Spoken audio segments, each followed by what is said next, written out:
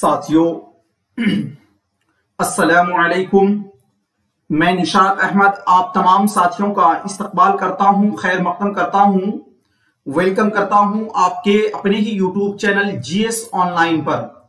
सभी साथी बतलाएँगे, साउंड वगैरह क्लियर आप लोगों को मिल रही है, और अगर आवाज़ वगैरह क्लियर है तो साथियों जल्दी जल्दी से वीडियो को लाइक करिएगा, और आज का क्लास काफ़ी अहम है, क्योंकि आज हम यूनिट थ्री का पार्ट टू पढ़ेंगे। यानी यूनिट थ्री में कल हमने पार्ट वन को पढ़ लिया था, जिसमें वली औरंगाबादी के बारे में पढ़ा था काफ़ी डिटेल में, और आज हम लोग मीर तकी मीर के बारे में पढ़ेंगे, और उसके बाद कुछ मोस्ट वीवीआई जो ऑब्जेक्टिव क्वेश्चन होंगे, उसको हम लोग सॉल्व करेंगे।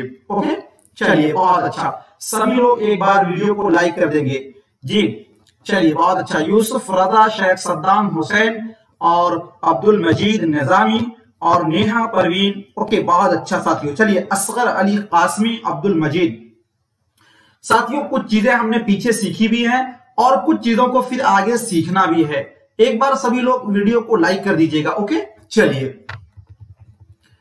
मीर तकी मीर, क्या नाम है साथियों? मीर तकी मीर। मीर तकी मीर का अगर मैं बात करूँ, असल नाम के बारे में तो इनका असल नाम था मोहम्मद तकी क्या नाम था? मोहम्मद तकी और इनका तखल्लुस था मीर। क्या तखल्लुस था? मीर। इनके वालिद का नाम था मोहम्मद अली। क्या नाम था साथियों? मोहम्मद अली इनके वालिद का नाम था। और इनके वालिद मोहतरम जो थे, वो अली मुत्तकी से मशहूर हो गए थे। बहुत ही साथियों, वीवीआई है। याद रखना, पूछा जाता है कि वो किनके वालिद थे जो अली मुत्तकी से मशहूर हुए थे? तो मीर तकी मीर के वालिद मोहतरम। ठीक है? मीर तकी मीर की पैदाइश जो है 1722 या 23 ये दो ऑप्शन है साथियों इसका। 1722 या 23 में अकबराबाद आगरा में हुई थी पैदाइश। कहाँ हुई थी साथियों? आगरा में इनकी पैदाइश हुई थी। देखो पैदाइश भी बहुत ज़रूरी है याद करना। याद रखना कि मीर मीर की पैदाइश आगरा में हुई थी। और साथ ही एक चीज़ और पूछा जाता है कि उर्दू अदब की दुनिया में आगरा को किस नाम से याद किया जाता है? तो आगरा को साथियों अकबराबाद के नाम से याद किया जाता है। अगर अकबराबाद के लॉजिक में जाइएगा तो जो लोग हमारे तीन बजे वाली क्लास कर रहे हैं अभी हाल फ़िलहाल में तो वो बता देंगे कि अकबराबाद को अकबराबाद क्यों कहते हैं। लेकिन मैं आपको थोड़ा सा डिटेल में बता दूँ कि साथ में याद रखना, अकबराबाद यानी जलालुद्दीन मोहम्मद अकबर ने अकबराबाद के अंदर एक शहर बसाया था, जिसका नाम था फतेहपुर सिकरी। तो यहाँ पर उन्होंने अपना पूरा, क्योंकि जो भी मोल बादशाह थे, वो लोग फतेहपुर सिकरी में ही जहांगीर की भी पैदाइश हुई थी। जी तो इसलिए अकबराबाद यानी अकबर का नाम की वजह से आगरा का नाम अकबराबाद पड़ गया था। तो इसलिए याद रखना कि आपको पूछा जा सकता है कि उर्दू में, यानी उर्दू तारीख में आगरा को किस नाम से जाना जाता है? तो अकबराबाद से। या फिर अकबराबाद को किस नाम से जानते हैं? तो आगरा के नाम से। ओके, चलिए। तो मीर तकी मीर की पैदाइश जो है 1722 ईस्वी ऑब्लिक 1723 ईस्वी, दोनों में से कोई एक ऑप्शन होगा साथियों, ठीक है? उसके बाद मीर तकी मीर की जो वफात है साथियों 20 सितंबर 1810 ईस्वी, कितना कहा गया साथियों? 20 सितंबर 1810 ईस्वी, लखनऊ में इनकी वफात हुई थी। कहाँ हुई थी वफात? लखनऊ में हुई थी, याद रखिएगा। उसके बाद इब्तदाई तालीम जो है मीर तकी सैयद अमानुल्लाह से हासिल की थी और उसके बाद इनके जो उस्ताद थे, सिराजुद्दीन अली खान आरज़ू। जी कभी कभी सिर्फ़ आपको आरज़ू भी दे देगा, लेकिन पूरा जो नाम है आरज़ू का, वो है साथियों सिराजुद्दीन अली खान आरज़ू। अब यहाँ पर एक बात और ये याद रखेंगे कि अगर आपको ये पूछ ले कि मीर तकी मीर के उस्ताद का नाम क्या है तो सिराजुद्दीन अली खान आरज़ू। क्या नाम है? सिराजुद्दीन अली खान आरज़ू। इस बात को भी आप याद रखेंगे। उसके बाद जब हम आगे बढ़ते हैं तो साथियों खिताबात जो इनको मिले हैं, जो खिताब मिले हैं, वो बहुत ही मोस्ट है वीवीआई है, इन से टॉपिक से। मीर तकी मीर को खुदाए सुखन भी कहा जाता है। क्या कहा जाता है? खुदाए सुखन, या फिर शायर बे दिमाग या फिर कुनूते कुनूती शायरी, या फिर फितना ए रोज़गार, यानी एक, दो, तीन और चार। यानी हम अगर बात करें तो मीर तकी, मीर को चार खिताब मिले हैं। कौन कौन से मिले हैं? तो खुदाए सुखन, शायर बेदिमाग, कुनूती शायर और फितन ए रोज़गार, फितन ए रोज़गार। याद रखेंगे। उसके बाद आगे चलते हैं साथियों। ये वाला भी मोस्ट वीवीआई है। याद रखना, ये पूछा गया है 2017 के जो एग्जामिनेशन हुआ था उसमें कि मीर ने कुल सात दीवान लिखे। कितने दीवान लिखे साथियों? सात दीवान लिखे, जिसमें छह फारसी में और एक उर्दू में है। मीर ने टोटल कितने दीवान लिखे थे? तो सात दीवान लिखे थे, जिसमें से छह जो है, वो साथियों फारसी में है और सिर्फ़ और सिर्फ़ एक जो है, वो किसमें है? उर्दू में है। ये याद रखेगा उसके बाद आगे है, महीने के हर पंद्रह तारीख को मीर के घर पर एक मुशायरा होता था। क्या होता था? एक मुशायरा होता था। ठीक है? उसके बाद आगे है साथियों कि मीर अपने वालिद के इंतकाल के बाद 1734 ईस्वी में दिल्ली चले गए। कहाँ चले गए? दिल्ली चले गए। क्योंकि इनकी पैदाइश तो आगरा में हुई थी, लेकिन जब इनके वालिद का इंतकाल हो चुका तो ये क्या किए साथियों? सत्रह ईस्वी में दिल्ली चले गए और फिर दोबारा आसिफुद्दौला की दावत पर सत्रह सो ईस्वी में लखनऊ आ गए। ये भी साथियों याद रखना मोस्ट वीवीआई क्वेश्चन है। कौन वाला? आसिफुद्दौला वाला। पूछा जाता है कि मीर तकी मीर किसके कहने पर लखनऊ आए थे? तो आसिफुद्दौला याद रखना, ये वीवीआई क्वेश्चन है। 2016 में पूछा हुआ क्वेश्चन है साथियों कि मीर तकी मीर किसके कहने पर लखनऊ आए थे? तो आसिफुद्दौला के कहने पर लखनऊ आए थे। ये याद रखना। और मैंने पीछे भी एक चीज़ आपको बताई है, उस बारीकी को भी आप याद रखना। जी, ठीक है? उसके बाद आगे चलते हैं। आगे है जो इन्होंने तसानीफ है साथियों जो इन्होंने किताबें लिखी है, उसमें है निकातुशोरा एक नंबर में आता है। जी निकातुशोरा ये उर्दू शोरा का पहला तस्करा मीर ने सत्रह में फारसी जबान में लिखा, जिसमें 103 शोरा कराम के हालात ज़िंदगी बयान किए गए। मोस्ट वीवीआई है साथियों, ये वाला भी। अब कहोगे कि सर आप तो सबको वीवीआई बता रहे नहीं जहाँ जहाँ से क्वेश्चन पूछने का संभावना बनता है साथियों, उसको हम लोग कहते हैं कि ये वीवीआई है, ठीक है? अब देखो, अगर आपको कोई ये पूछे कि उर्दू शोरा का पहला तस्करा क्या पूछे?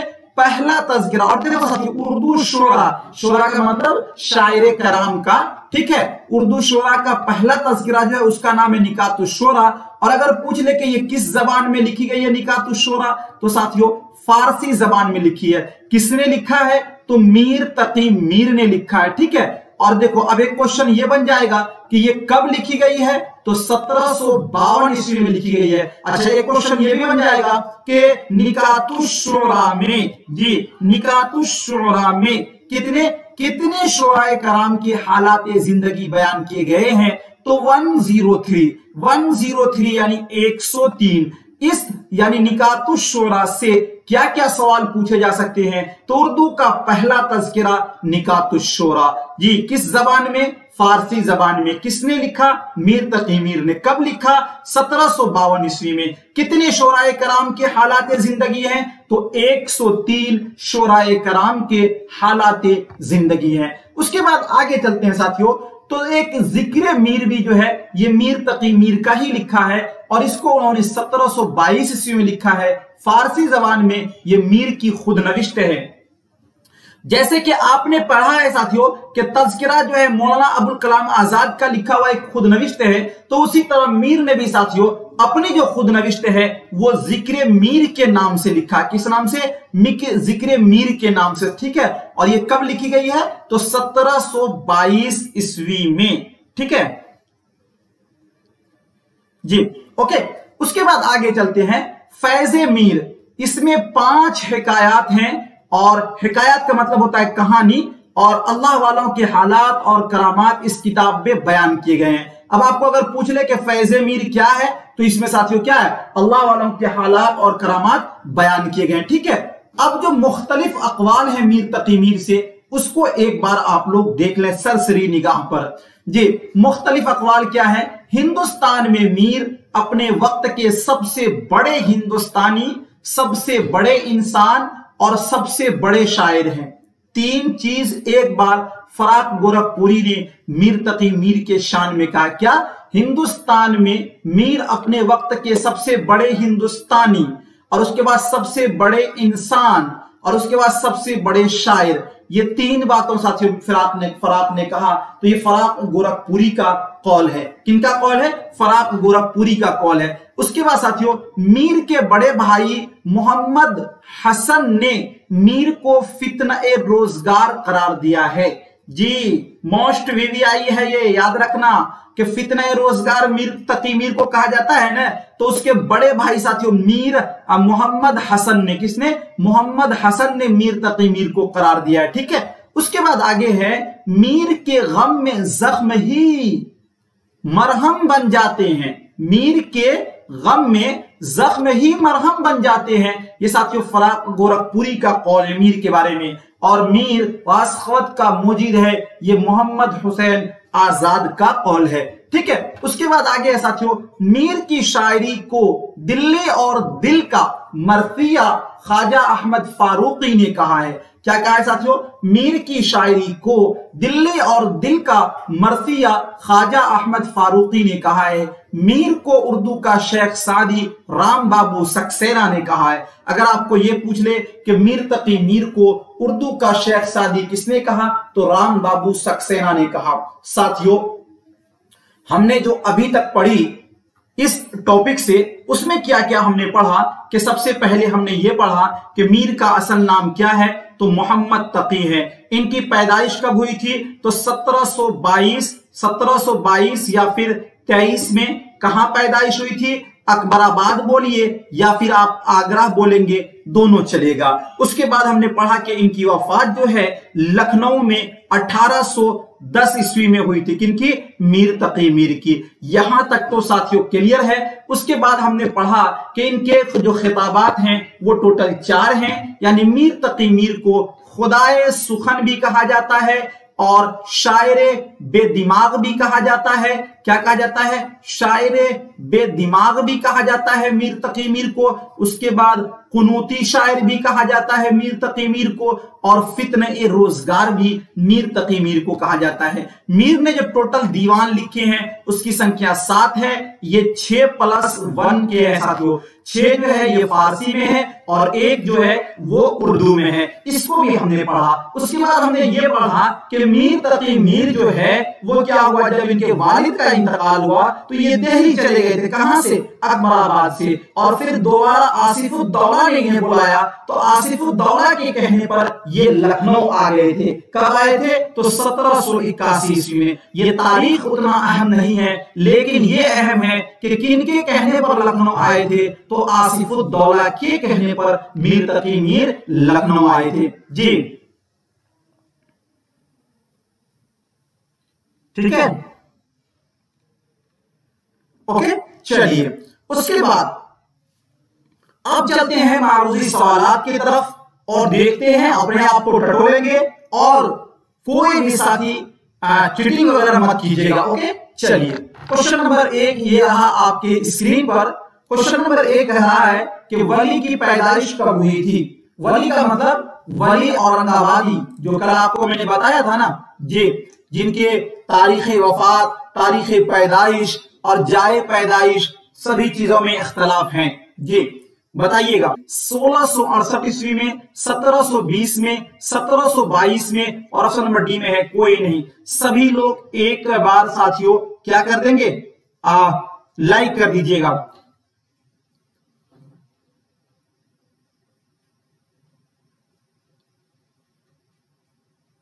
ओके? चलिए।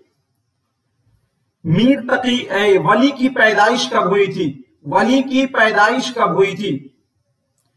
जी साथियों, बहुत अच्छा। तो वली की पैदाइश कब हुई थी? सोलह सो ईस्वी में। कब हुई थी साथियों? सोलह सो ईस्वी में। लेकिन वली की पैदाइश के सिलसिले में क्या है? इख्तलाफ है। कुछ लोगों का मानना है कि इनकी पैदाइश हैदराबाद में हुई थी और कुछ लोगों का मानना है कि इनकी पैदाइश गुजरात में हुई थी। ठीक है? अगला क्वेश्चन है दो नंबर में। कि वली को उर्दू शायरी का बाबा आदम किसने कहा है? मोहम्मद हुसैन आज़ाद ने, मीर तकी मीर ने, ख्वाजा अल्ताफ हुसैन हाली ने और दर्द ने। क्या पूछा जा रहा है साथियों कि वली को उर्दू शायरी का, उर्दू शायरी का बाबा आदम किसने कहा है? जी, चलिए, बहुत अच्छा वेरी नाइस एक बार साथियों आप लोग वीडियो को लाइक कर देंगे ओके चलिए। देखो, एक क्वेश्चन में, जो 1722 वाला कोई पूछ रहे थे कि 1722 तो ये 1722 जो है ना, ये थोड़ा सा टाइपिंग ईरर है। असल में ये 1772 होना चाहिए कि जो ज़िक्र मीर है, खुद नविश्त थे वो 1772 ईस्वी में मीर ने लिखा था, ठीक है? वो सही कर लेंगे, सरवत सुल्ताना जी। 1722 नहीं होगा मैं उसको टाइपिंग ईयर को सही कर दूँगा। असल में ये 1772 होना चाहिए कि ज़िक्र मीर जो है ना वली जो लिखे हैं ये आ, मीर तकी मीर ने जो लिखा है वो 1772 में लिखा है नौ के 1722 में और ये ईरर हो चुका लिखने में। ठीक है साथियों वली को उर्दू शायरी का बाबा आदम मोहम्मद हुसैन आज़ाद ने कहा था इसलिए आपका ऑप्शन नंबर ए राइट हो जाएगा। ठीक है अगला क्वेश्चन तीन नंबर में है, मीर तकी मीर की पैदाइश कब हुई थी? जी मीर तकी मीर की पैदाइश कब हुई थी? 1810 ईस्वी में 1722 ईस्वी में 1732 ईस्वी में और 1635 ईस्वी में। मीर तकी मीर की पैदाइश पूछा जा रहा है, साथियों। ये बहुत अच्छा। चलिए, साथियों, क्या होगा? 1722 ईस्वी में अकबराबाद में। कहा साथियों? अकबराबाद यानी आगरा के अंदर मीर तकी मीर की पैदाइश हुई थी। उसके बाद चार नंबर क्वेश्चन है, कसीदा और गज़ल शायरी की नापाक दफ्तर है। यह कौल किसका है? आल अहमद सुरूर का, फराक गोरखपुरी का, हाली का और मोहम्मद हुसैन आज़ाद का। कसीदा और गज़ल शायरी की नापाक दफ्तर है यह कौल किसका है? जी ये कौल साथियों किनका है? तो ये ख्वाजा अल्ताफ हुसैन हाली का कौल है ठीक है? जी अगर आपको आ, गज़ल के बारे में अगर कुछ आ, मतलब बुराई किसी कौल में नज़र आए तो आमतौर पर वो कौल जो होता है साथी वो किनका होता है? हाली का होता है। अगला क्वेश्चन है पाँच नंबर में गज़ल जितनी बदनाम है उतनी ही मुझे अज़ीज़ है। यह कौल किसका है? मोहम्मद हुसैन आज़ाद का, ख्वाजा अल्ताफ हुसैन हाली का, वली का, रशीद अहमद सिद्दीकी का। पाँच नंबर क्वेश्चन का क्या होगा? जी बहुत अच्छा वेरी नाइस साथियों, पाँच का जो है, याद रखना रशीद अहमद सिद्दीकी का, ठीक है? इसका ऑप्शन नंबर डी राइट हो जाएगा। अगला क्वेश्चन है छह नंबर में, कुनूती शायर किसे कहा जाता है? वली को, हाली को, मीर को और ख्वाजा मीर दर्द को। कैसा शायर साथियों? कुनूती शायर। कुनूती शायर किसे कहा जाता है? कुनूती शायर साथियों किसे कहा जाता है? मीर तकी मीर को कुनूती शायर या फितने रोज़गार या फिर शायर बेदिमाग। जी, या खुदाए सुखन, ये सब नाम किसका है? तो साथियों, मीर तकी मीर का ही नाम है। उसके बाद आगे चलते हैं। तो सात नंबर क्वेश्चन हमारे पास है। कि उर्दू का पहला गज़ल गो शायर किसे कहा जाता है? देखो, पहला तो ठीक है, लेकिन गज़ल गो याद रखना। जी, चलिए, ऑप्शन नंबर ए में है, Quli Qutb Shah, option number B में Amir Khusru, option number C में अल्ताफ हुसैन हाली, और ऑप्शन नंबर डी में मोहम्मद हुसैन आज़ाद। देखो, क्या कहा जा रहा है? गज़ल गो। जी, सात नंबर क्वेश्चन का क्या होगा? सात का कुछ लोग ए दे रहे हैं, तरन्नुम बेगम। देखो, एक तो है गज़ल गो, एक है साहिब दीवान शायर। जब आपको साहिब दीवान शायर पूछ लेंगे, तब आप बताइएगा कुली कुतुब शाह। लेकिन अगर गज़ल गो पूछ ले, तब आपको आंसर देना है अमीर खुसरू। क्या देंगे? अमीर खुसरू। तो option number B is the correct answer ji question number seven ठीक है? जी, जब गज़ल को पूछेगा, तब आपको अमीर खुसरू कहना है। जब साहिब दीवान पूछेगा, तब कुली कुतुब शाह कहिएगा। ठीक है? अगला क्वेश्चन आठ नंबर में है, उर्दू शोरा का सबसे पहला तस्करा कौन सा है? सबसे पहला तस्करा क्या पूछा जा रहा है? तस्करा ज़िक्र मीर, खाबू ख्याल, निकात शोरा और ऑप्शन नंबर डी में है, कोई नहीं। जी, उर्दू शोरा का सबसे पहला तस्करा कौन सा है? देखो, सबसे पहला तस्करा जो साथी, उसका नाम क्या है? निकात शोरा है। और इसमें टोटल 103 शोरा कराम के हालात ज़िंदगी को कलमबद्ध किया गया है। निकात शोरा जो है, ये फारसी जबान में है। किस जबान में है? फारसी जबान में है। ठीक है? अगला क्वेश्चन है नौ नंबर में। चित्तर सीन किस मसनवी का किरदार है? कुतुब मुश्तरी का, जहर इश्क का, गुलजार नसीम का, कुदमराओ कुदमराओ का। बहुत अच्छा क्वेश्चन है। ये तो मैंने पूरा आपको डिटेल में पढ़ाया हुआ हूँ। ये आपका मसनवी का है। जी, बताइएगा। चित्तर सीन किस मसनवी का किरदार है? बहुत अच्छा साथियों वेरी नाइस जिन लोगों ने भी नौ का दिया है ऑप्शन नंबर सी बिल्कुल राइट है।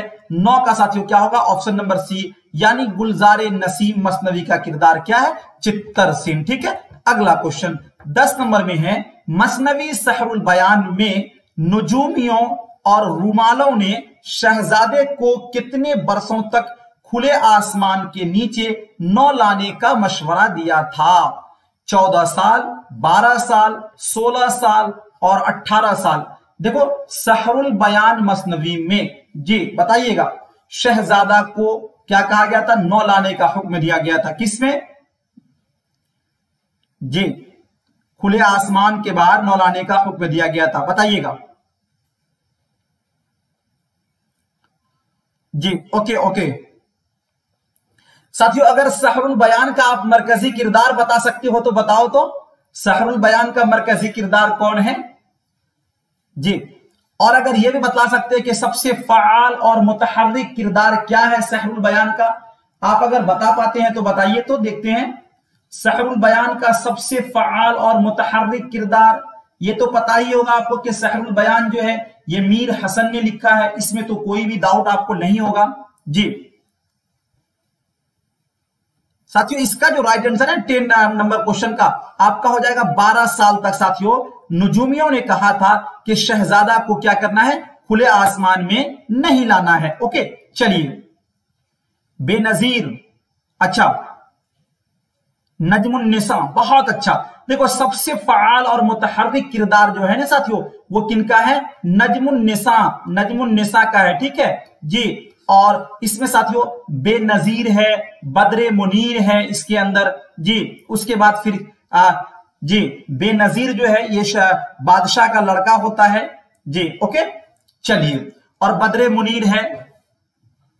उसके बाद आगे चलते हैं। अगला है साथियों हमारा ग्यारह नंबर क्वेश्चन में, मसनवी गुलजार नसीम में, गुलशन निगारी में, जैनुल मुलूक और ताजुल मुलूक से मुलाकात के वक्त बकाउली किस नाम से वज़ीर बनी हुई थी? बकाउली किस नाम से वज़ीर बनी हुई थी?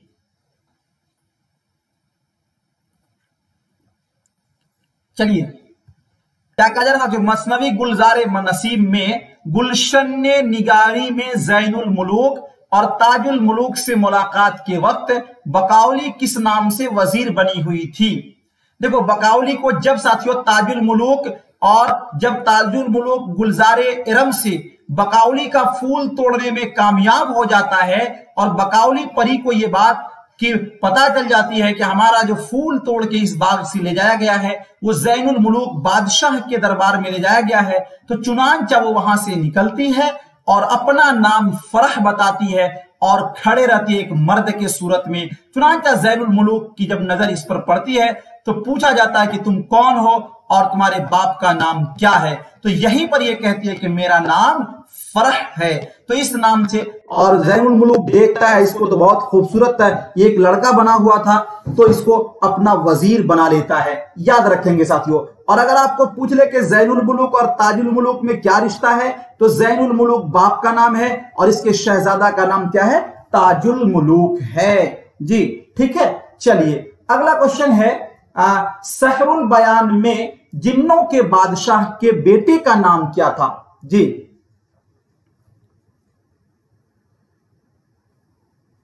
जिन्नों के बादशाह के बेटे का नाम क्या था? फिरोज शाह, हशमत शाह, दिलबर शाह और मिर्रीख। ओके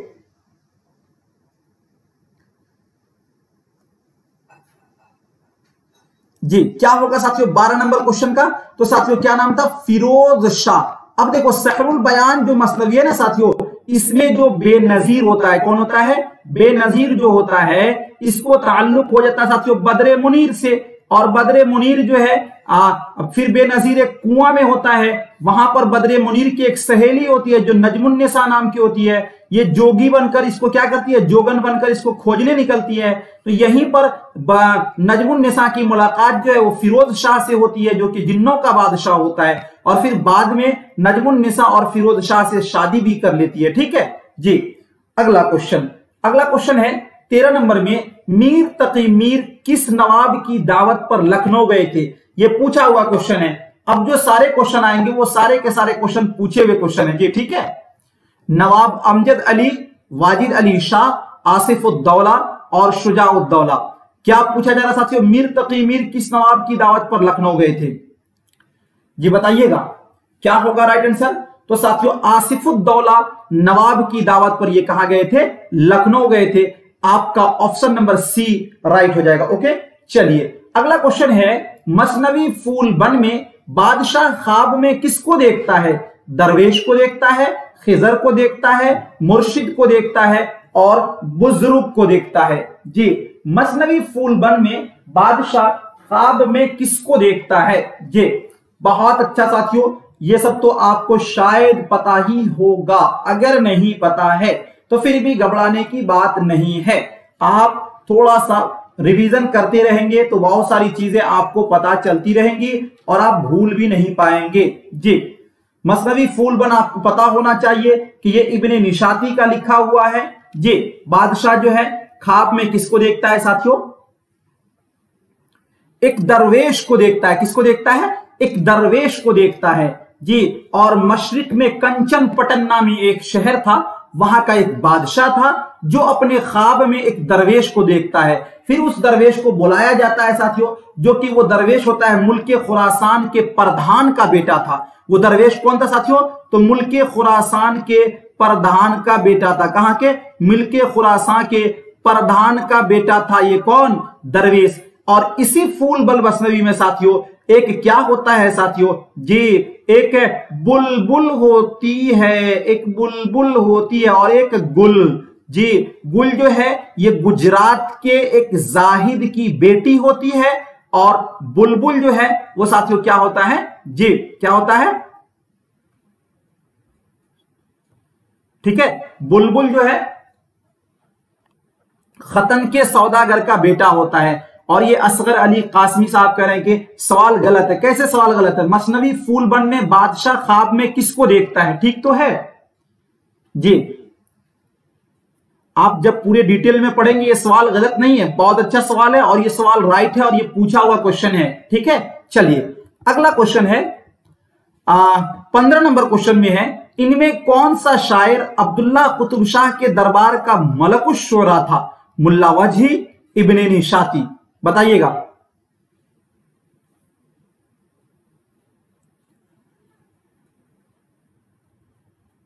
ठीक है? चलिए, बताइएगा। इनमें कौन सा शायर अब्दुल्लाह कुतुब शाह साथियों? देखो, जब अब्दुल्लाह कुतुब शाह पूछ ले, तब आप क्या कहेंगे? जी, अब्दुल्लाह कुतुब शाह। पंद्रह नंबर क्वेश्चन का क्या होगा राइट आंसर? याद रखेंगे साथियों, इबन निशाती जो है ना, ये अब्दुल्लाह कुतुब शाह का दरबारी शायर था। और अगर मुल्ला वजी आपको पूछ लिया जाता, तब साथियों याद रखना, कुली कुतुब शाह का दरबारी शायर कौन था? तो मुल्ला वजी था, ठीक है? जी। उसके बाद अब्दुल्लाह कुतुब शाह के फरमाइश पर ही इबन निशाती ने फूल बन मसनवी लिखा है, और कुली कुतुब शाह की फरमाइश पर और मुल्ला वजी ने कुतुब मुश्तरी लिखा है, ठीक है? और अब्दुल्लाह कुतुब शाह की फरमाइश पर मुल्ला वजी ने सबे रस दास्तान लिखा है साथियों। ठीक है? उसके बाद आगे चलते हैं। सोलह नंबर क्वेश्चन में है, किसने मरसिए को तशबीब से मुतारफ करवाया जो आगे चलकर चेहरा के नाम से मंसूब हुई? मीर खलीक, मीर जमीर, सौदा और ऑप्शन नंबर डी में है, मीर तकी मीर। बताइएगा क्या होगा, राइट आंसर। क्या कह रहा है साथियों?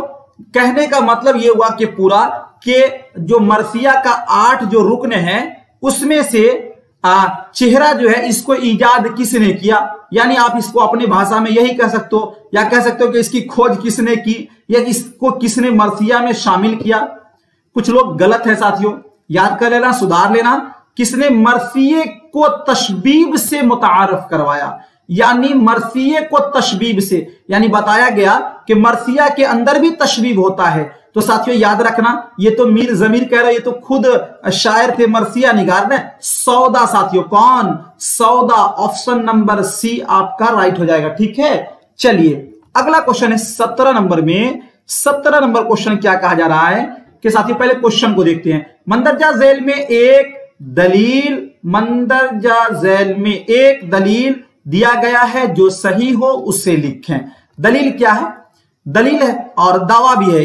दावा किया गया कि मीर को खुदाए सुखन कहा गया और फिर इसका दलील दिया गया जी क्योंकि मीर ने उर्दू को छह दीवान दिए हैं। अब इसका ऑप्शन देखेंगे। ये साथियों दावा है और ये आपका दलील है। यानी मीर को खुदाए सुखन कहा गया क्यों? कि मीर ने आ, क्या कहते हैं छह दीवान उर्दू को दिए इसलिए। तो चलिए ऑप्शन नंबर ए में देखेंगे, दावा सही है और दलील गलत है।